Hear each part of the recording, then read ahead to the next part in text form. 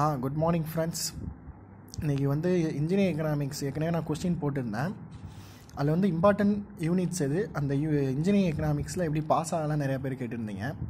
Engineering exam எக்கனாமிக்ஸை பொறுத்த வரைக்கும் நம்ம ஈஸியாக பாஸ் ஆகக்கூடியது தான். ஃபஸ்ட்டு பார்க்க வேண்டியது அஞ்சாவது யூனிட் அஞ்சாவது யூனிட்டோட நேம் வந்து டிப்ரிஷியேஷன் டிப்ரிஷியேஷனில் வந்து மொத்தம் ஆறு மெத்தட் இருக்குது அது என்னென்ன மெத்தட்னால் straight line method of depreciation declining balance method of depreciation sum of years digit method of depreciation sinking fund method or annuity method or sum of year digit method of depreciation or service output method இது என்ன கான்செப்ட்னா மூணு given data கொடுத்துருவாங்க என்னென்னா பர்ச்சேஸோட given data depreciation given data number of years டிப்ரிஷியேஷன்னா ஒன்றும் இல்லை maintenance cost purchasing cost number of இயர்ஸ்னு கொடுத்துட்டாங்க. கொஸ்டின்லேயும் அவன் என்ன மெத்தட்னு கொடுத்துருவான். நம்ம மெயினாக என்ன தெரிஞ்சுக்கணும்? என்ன மெத்தட்னு தெரிஞ்சுக்கிட்டு ஃபஸ்ட்டு வந்து என்ன மெத்தட்னு தெரிஞ்சுக்கிட்டு மூணு ஃபார்முலா கண்டுபிடிக்கணும். என்னென்னா டிப்ரிசியேஷன் மெத் ஃபார்முலா ரேட் ஆஃப் டிப்ரிசியேஷன் சில கொஸ்டின்ஸில் மட்டும் புக் வேல்யூஸ் கேட்பாங்க. அந்த புக் வேல்யூ தெரிஞ்சுக்கிட்டு நம்ம எழுதினோம்னா ஈஸி இப்போ ஸ்டேட் லைனில் பார்த்தீங்கன்னா இந்த மூணே மூணு ஃபார்முலா தான் இருக்குது இந்த மூணு ஃபார்முலாவை மனப்பாடம் பண்ணி இந்த ஃபார்முலா வேலையிலேருந்து வேல்யூ கண்டுபிடிச்சி வச்சுக்கணும். அது மாதிரி ஒவ்வொரு இதுக்கும் புக்கில் வந்து ஃபார்முலாஸ் இருக்கும். அந்த ஃபார்முலாஸை வந்து நீங்கள் நல்லா கொஞ்சம் மனப்பாடம் பண்ணிக்கோங்க. ஏன்னா அந்த ஃபார்முலாஸ் மனப்பாடம் பண்ணால் தான் நீங்கள் எந்த மெத்தட்னு கண்டுபிடிக்க முடியும். நீங்கள் அதை கண்டுபிடிச்சதுக்கப்புறம் இந்த மாதிரி ஒரு டேபிள் இருக்கும். இந்த டேபிளுக்கு தான் மார்க்கு ஃபஸ்ட்டு வந்து நம்பர் ஆஃப் இயர்ஸ் எப்படின்னா ஒரு மிஷின் வாங்க ஒரு மிஷின் வந்து ஃபைவ் இயர்ஸுக்கு வாங்கியிருக்காங்க. அந்த மிஷினோட காஸ்ட் வந்து பன்னெண்டாயிரம்னு வச்சுக்குவோம். ஃபைவ் இயர்ஸ்னால் ஜீரோலேருந்து சாரி சிக்ஸ் இயர்ஸ்னால் ஜீரோலேருந்து சிக்ஸ் வரையும் போட்டுக்கணும். ஜீரோ போட்டுக்கிட்டு மெயின்டெனன்ஸ் காஸ்ட்டு டிப்ரிஷியேஷன் எஃப் இருக்குல்ல எஃப்க்கு வந்து ஃபஸ்ட்டு வருஷம் வந்து எதுவும் செலவாகாது.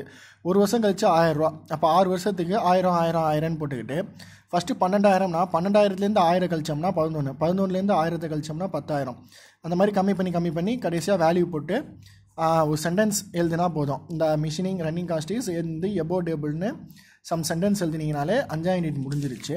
அதுக்கப்புறம் அஞ்சாம் யூனிட்டுக்கு அப்புறம் எந்த யூனிட் ஈஸியாக படிக்கிறதுனா தேர்ட் யூனிட் கேஷ் ஃப்ளோன்னு இருக்குல்ல.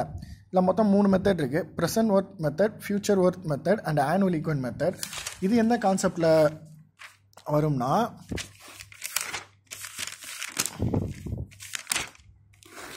இந்த மாதிரி ஒரு டயக்ராம் இருக்கும். இந்த இந்த டயக்ராம் போட்டாலே நீங்கள் மேக்ஸிமம் பாஸ் போட்டுருவாங்க. மூணாம் யூனிட்டுக்கும் இந்த டயக்ராம் வரும். நாலாம் யூனிட்டுக்கும் இந்த டயக்ராம் வரும்.